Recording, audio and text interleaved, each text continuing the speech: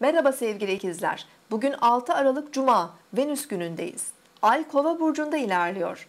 Bugün aklınız oldukça hızlı çalışabilir. Ee, çok fazla fikir üretebilirsiniz.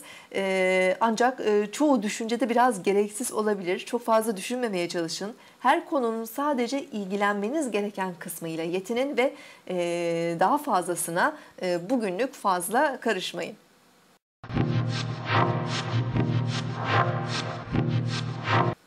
Burcunuzu dinlediniz. Bugün 6 Aralık Cuma, Venüs günündeyiz. Oğlak Burcu'ndaki ay sabah 7.33'te Mars'la üçgen açı yapacak ve ardından boşluğa girecek. Sabah erken saatlerde motivasyonumuz yüksek olabilir ve günlük işlerimize daha rahat organize olabiliriz. Pratik çözümler bulabiliriz. Ay 8.55'te Kova burcuna geçiş yapacak. Kova burcundaki ay daha özgür, bireysel ve sosyal enerjiler vermeye başlayacak güne.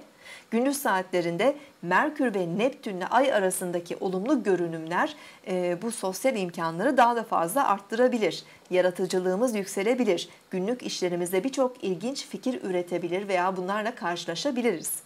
Akşam saatlerinde Ay Uranüs sekstil açısı heyecanımızı ve e, içsel huzursuzluğumuzu biraz arttırabilir.